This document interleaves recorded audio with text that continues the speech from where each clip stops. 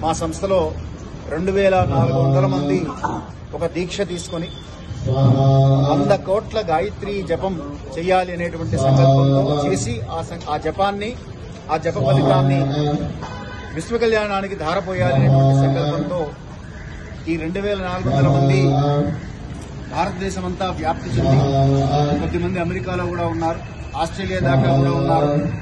వారు కూడా చేస్తున్నారు అక్కడ కూడా. కానీ అధిక సంఖ్యలో భారతదేశంలో కర్ణాటక రాష్ట్రము తమిళనాడు రాష్ట్రము తెలంగాణ రాష్ట్రము ఆంధ్రప్రదేశే కాకుండా మిగతా చోట్ల కూడా ఛత్తీస్గఢ్ రాజస్థాన్ హర్యానా ఇత్యాది ప్రాంతాల్లో కూడా మీరందరూ కూడా రోజు జపం చేయడం జరుగుతోంది. చేసి ఆ జపం యొక్క ఫలితాన్ని విశ్వక్షేమం కొరకు విశ్వగురు స్థానానికి భారతదేశం రావాలి అంటే గతంలో ఉన్నది.